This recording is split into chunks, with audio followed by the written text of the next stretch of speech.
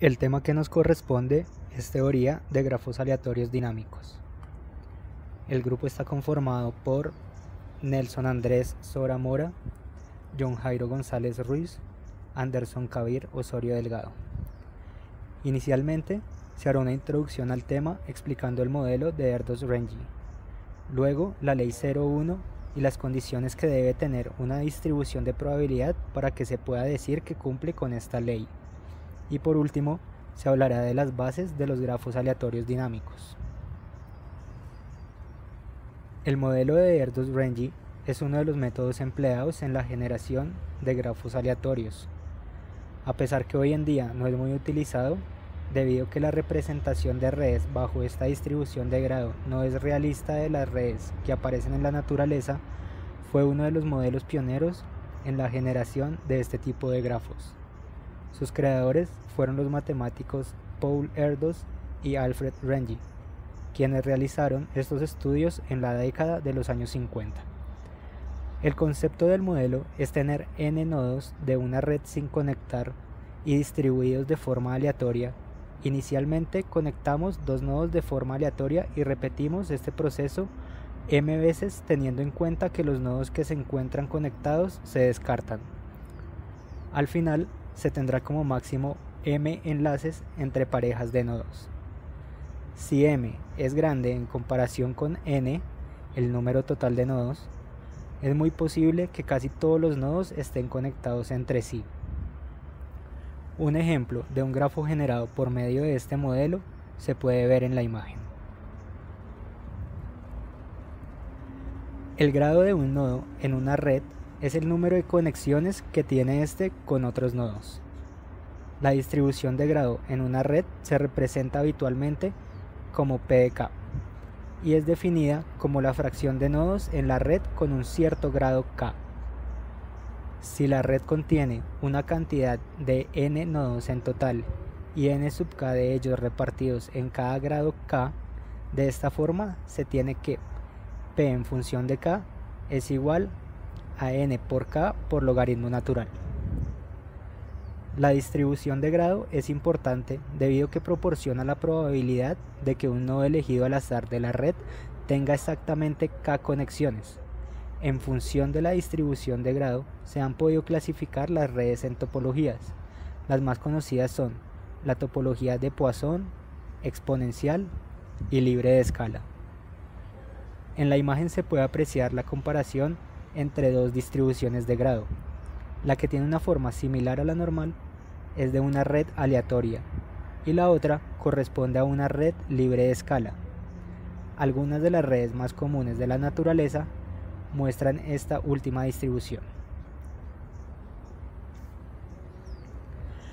Para calcular la probabilidad de la distribución de grado de que un nodo tenga k conexiones en la red aleatoria generada con el modelo Erdos-Rengi, se intenta calcular la probabilidad de que una pareja elegida al azar esté conectada entre sí. Pero para eso, primero se debe calcular el número total de posibles parejas en una red de n nodos. Así como se muestra en la imagen, inicialmente el número total de posibles parejas en una red de n nodos está por n sub p, igual a n combinado 2 igual a n factor de n menos 1 sobre 2 y la probabilidad de que una pareja elegida al azar esté conectada entre sí la vamos a llamar p sub c en donde es m sobre n sub p igual a 2m sobre n factor de n menos 1. Si se toma la red generada un nodo particular al azar y lo denominamos b sub j, el número de nodos enlazados a pares que contuviera a b sub j sería n menos 1, ya que b sub j se puede enlazar con exactamente n-1 nodos restantes en la red. Suponemos entonces que estuviera en K de ellos. Así, la probabilidad de que un nodo seleccionado al azar esté contenido en K parejas de las n-1 posibles va a ser P en función de K igual a n-1 combinado K por P sub C, que ya lo habíamos calculado anteriormente, elevado a K, factor de 1 menos P sub C, elevado a la N menos 1 menos K. Esto para cuando n y m no son valores muy grandes. Sin embargo, cuando n, el número total de nodos, y m, el número de conexiones que vamos a realizar en la red, tienden a infinito, z se iguala a 2m sobre n. Dejando así de este modo la distribución de grado de pk se convierte en una distribución de Poisson de la forma e a la menos z por z a la k sobre k factorial. Un grafo aleatorio es un grafo que tiene n vértices y en el cual cada par desordenado de vértices decide ser o no ser adyacente sesgado a una probabilidad p que está definida de 0 a 1. Cuando p va de 0 a 1, el grafo aleatorio evoluciona de vacío a lleno de aristas entre vértices. Erdos Rengi descubrieron que para muchas propiedades naturales A hay un angosto rango en el cual la función de probabilidad de que el grafo tenga la propiedad A se mueve desde cerca a 0 hasta cerca a 1. Este rango generalmente no es constante, pero se comporta como una función natural P igual a P de n a la cual llamaron función umbral para la propiedad A. Como ejemplo, se tiene el evento A, que es contener un triángulo para un grafo aleatorio. Cuando P es igual a P de n, mucho menor a 1 sobre n, por ejemplo, si P es igual a n elevado a la menos 1,01, el número esperado de triángulos tiende a 0 y por lo tanto también la probabilidad de A tiende a 0. Cuando P es igual a P de n mucho mayor a 1 sobre n, por ejemplo, si P es igual a n elevado a la menos 0,99, el número esperado de triángulos tiende a infinito, por lo cual la probabilidad A tiende a 1. Por tanto, Erdos y Rengi llamaron a P igual 1 sobre n una función umbral para la propiedad A, dando lugar a la definición una función P de n es una función umbral para la propiedad A si si P' de n es mucho menor a P n, entonces la función de probabilidad de que el grafo tenga la propiedad A tiende a 0. Y si P' n es mucho mayor a P de n, entonces la función de probabilidad de que el grafo tenga la propiedad A tiende a 1. La teoría de primer orden es una noción básica para lógicos. Aquí nos referiremos únicamente a la teoría de primer orden para grafos. Básicamente es un lenguaje en el cual se pueden describir algunas, pero ciertamente no todas, las propiedades de los grafos. El alfabeto de este lenguaje consiste en se tiene un suministro infinito de símbolos de variables x, y, z, etc. Relaciones de igualdad y, adyacencia. Pueden ser usadas solo entre dos símbolos de variable. Por ejemplo, x igual a y o y es adyacente a z. Cuantificadores universales y existenciales pueden ser usados solo entre dos símbolos de variable. Por ejemplo, para todo x existe y. Operadores booleanos usuales. O, y, negación y entonces. Para un lenguaje de primer orden de teoría de grafos, las variables x, y y z representan vértices del grafo.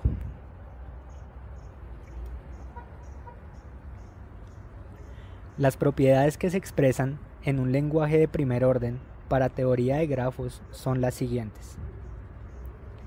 Entre tres variables, para el caso de grafos son vértices, existe un triángulo, es decir, existen un x, un y y un z, tales que x es adyacente a y, y y es adyacente a z, y x es adyacente a z.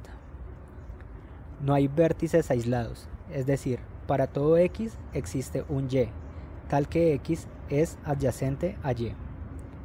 El radio, es decir, la mínima excentricidad o distancia de un vértice con otro es 2, es decir, existe un x para todo y tal que o bien y es x o y es adyacente a x, o existe un z tal que es adyacente tanto a x como a y, es decir, los conecta.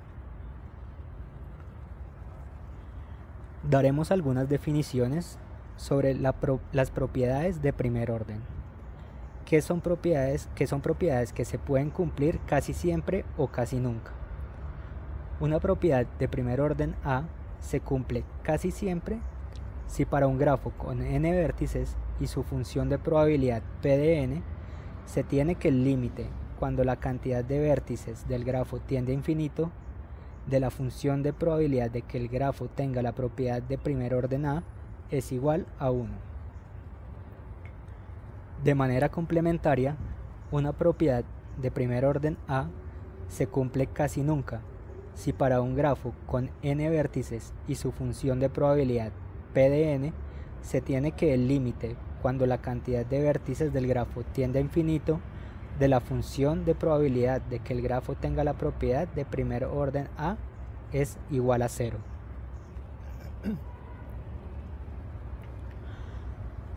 A partir de las definiciones mencionadas anteriormente, en las que una propiedad de primer orden se cumple casi siempre o casi nunca, se dice que una función de probabilidad determinada P de n puede definir la ley 0,1.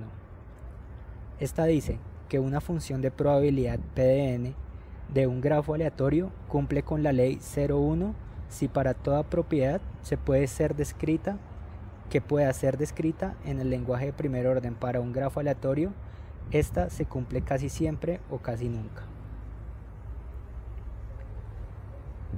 Basándonos en esto y recordando el análisis que se ha hecho previamente sobre las funciones umbral de las propiedades de primer orden de un grafo aleatorio, que dice que toda función umbral de una propiedad siempre es una función racional, se puede ver que cualquier función de probabilidad irracional va a caer siempre fuera del intervalo en el que la función umbral pasa de 0 a 1.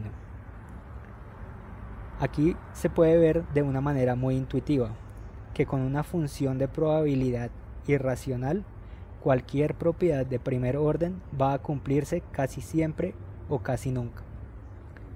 De aquí se desprende uno de los teoremas principales para la ley 0,1 y en general para la teoría de grafos aleatorios.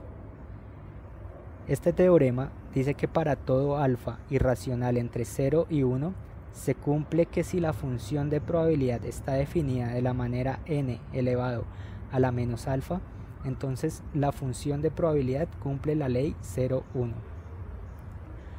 Todo esto se debe a que al tener una función irracional, vamos a tener una función que va a caer dentro de las grietas de cualquier función racional y como se sabe que la función umbral de una propiedad determinada como de primer orden es siempre racional, se puede ver que la función de probabilidad irracional n elevado a la menos alfa con alfa irracional entre 0 y 1 va a estar siempre fuera de los rangos en los cuales la probabilidad de que se cumpla esta propiedad en el grafo esté entre 0 y 1.